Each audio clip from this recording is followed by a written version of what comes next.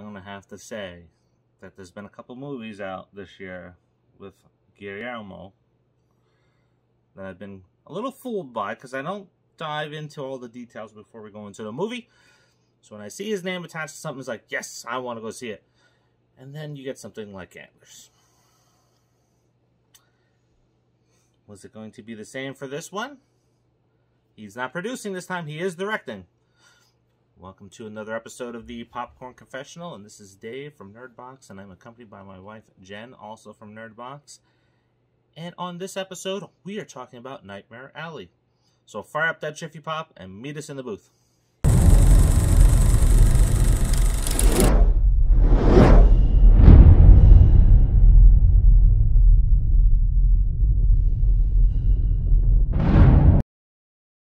Nineteen forties New York. Stanton Carlisle is on the run from his past and joins a traveling carnival. Best place to go, right? Where he endears himself to an aging mentalist, Krumbein, who is struggling with his own demons. Stanton sets out on his own after learning the craft and gets lost in his own ego, leading him down a dark path. So, very well casted movie. It I mean, is the- pretty star studded. It it was yeah it was stacked. I mean you stan carlisle is played by bradley cooper. There's a doctor who's like a psychiatrist that is played by cate blanchett uh-huh. who zeena the seer is toni collette clem played by willem dafoe. Molly cahill is played by rooney mara.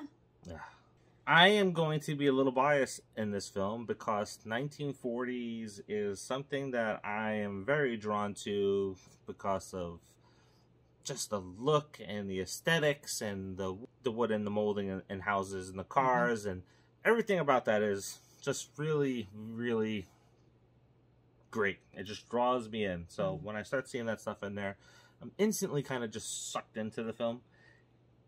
And I have to say, if you're a fan of Batman the animated series, you're gonna be sucked in a little bit to this too, because you see that stuff in that animated series and kind of just is here too. So it's just like, oh, it's pleasing me on a lot of different levels.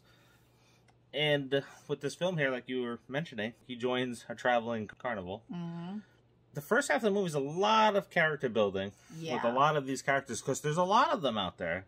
Yeah, and don't don't get confused when we say like this was a stacked cast and it's like oh but they're not all important. They're all important. Yeah, Ron They- Perlman's in it too. He's Bruno, their strongman. Yes, he's he's the muscle. He's the, and he's also the strong man who obviously is not lifting what they say he's lifting, but we know how that goes. But yeah, all of these characters have a significant part in the movie.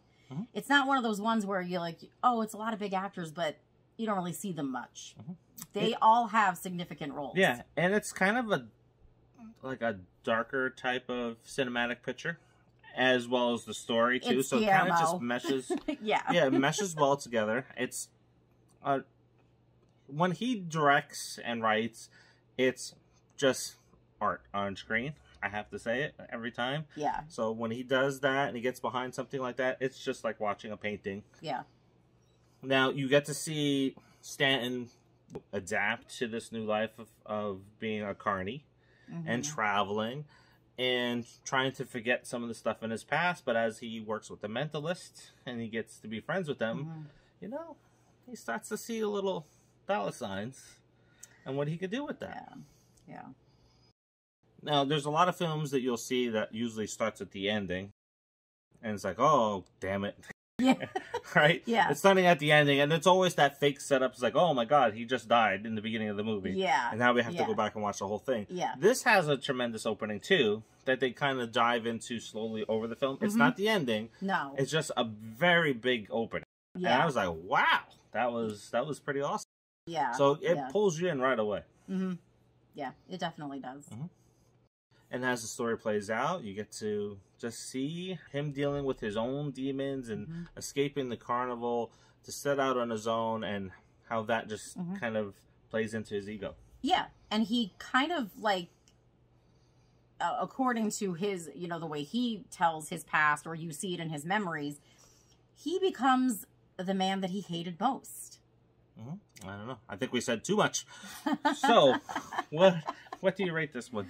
So I would go see this in the theater again. Really, I'm shocked. I thought you were like a one and done on this one because in the theaters it's like, hey, um, so I think we should do a rating for one and done. So I was like, Oh, oh, it my was just god, it was just on my mind. Oh. That's all. it was just on my mind. yeah. I haven't lost myself in a film like this that is dramatic since Almost Famous. Like I watched Almost Famous, and that was you know based on the '60s and the '70s and stuff Mhm. like that. And it's like, wow. And then I looked at the time, I was like, holy shit, Yeah. this movie's long and good. Yeah, it takes you on a lot of like twists and turns around like dark alleys Mm-hmm. and yeah, so it's and it's kind of a mind fuck too. So I would go see this in the theaters too, so that's my rating on it. And there are a lot of movies that are coming out this week. Maybe we have to skip them and go see this one again. it's a possibility because there are some that I'm like, eh, like It was just that good. not Yeah. Mm-hmm. really too hyped about seeing and you know, he's on vacation, so maybe we need the break from so many reviews. So maybe we'll just go see this one again. They're gonna see five in a row. I know. I Yeah. know. Anyway, have you seen this? What did you think? Are you gonna see it? We think you should. And don't forget to like, subscribe, turn on the notifications, and share. Yes. And until the next review, which will probably be tomorrow. See you.